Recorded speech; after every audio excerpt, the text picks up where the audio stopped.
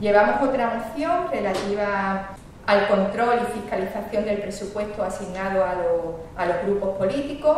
eh, desde el pasado mes de octubre del 17 hay una moción aprobada del Grupo Ciudadanos con significativa enmienda del Grupo Popular de que se aplique a partir del 2018 relativa a la transparencia de las cuentas de cada grupo político en nuestra Diputación, donde se acordaba que se publicase en la web de esta Diputación un resumen trimestral de gastos detallados en tabla S, así como los saldos y cuentas de los grupos políticos eh, y los PDF de la factura.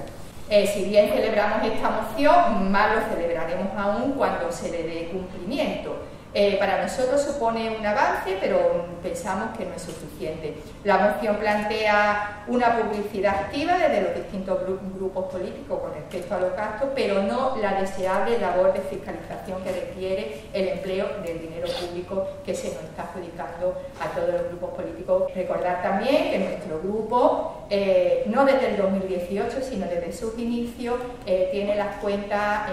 a disposición en nuestra portal de transparencia en nuestra página web. Así que vamos a pedirle al Pleno de esta Diputación